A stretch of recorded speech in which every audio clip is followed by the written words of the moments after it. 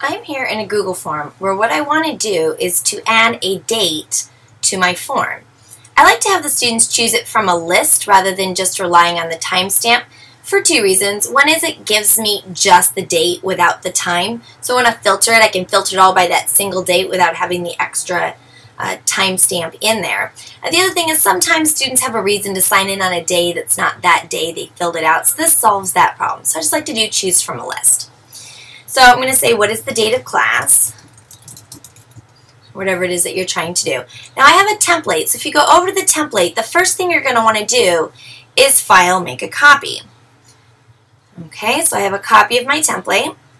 And what you'll notice is down at the bottom is different tabs. And so you have to determine if your scheduling for your school is on block schedule, if, if it didn't start on a Monday, I made a second option, or if it meets daily. So if your class meets daily, go ahead and click on the daily tab and you'll decide what was the first day of school. So if the first day of school is 922, then then that was a Monday, then you just choose Monday. And then you would want to go through and mark any holidays. So here in column D, any day on the calendar that your class would not meet, just mark it with an H so you'll notice over here on the daily dates, I marked 924 with an H. It does not show up. Notice what happens if I put it for 925. Now 925 is missing. So in column D, any of them that you mark with an H is no longer going to show up on the daily list.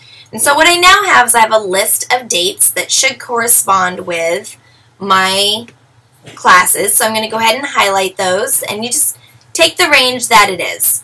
Um, I'm going to say if I need to go all the way down to May. So I'm going to scroll all the way down to May, copy, Control C on a PC, Command C on a Mac. I go back to the form, I just need to highlight option 1. And when I paste, Control V on a PC, it's going to paste all of those dates in there. So notice how quickly I was able to add 165 dates to my Google form. I'm going to go ahead and hit done. What if you are on block schedule? So I'll show you what that looks like. I'm going to add a choose from the list for that. I go back to my copy of the template. And I can do block schedule where again I'm just going to be able to pick the first day of class and then determine if the first day of class was an even or an odd scheduled day. And it automatically will adjust even, odd, even, odd, where it's going to skip weekends and holidays. So here notice on 925, if I mark that with H for holiday, then it goes odd, even, odd, skip the holiday, so then the next class day is even. And then over here on the right hand side, it's going to separate out the dates. So all of the even dates are listed on the left column here in column G. And in column K, you're going to find the odd dates listed. So I would just highlight my date range, copy, Control C on a PC, Command C on a Mac, we go back to my Google form, highlight option one, paste, and it's going to paste all of my dates in there. Going back to my block schedule, if your school does not start on a Monday, if it started on a different day, you can go down to this tab block, choose day of the week, and you can choose instead of Monday, you could say Tuesday, which in this case would be of course 916, so I would change the date. Notice the yellow cells are the ones that you're going to be able to change.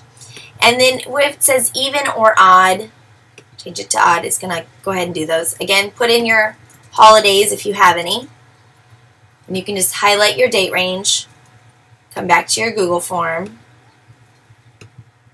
choose from a list. This also works for multiple choice and multiple select, and just paste my dates.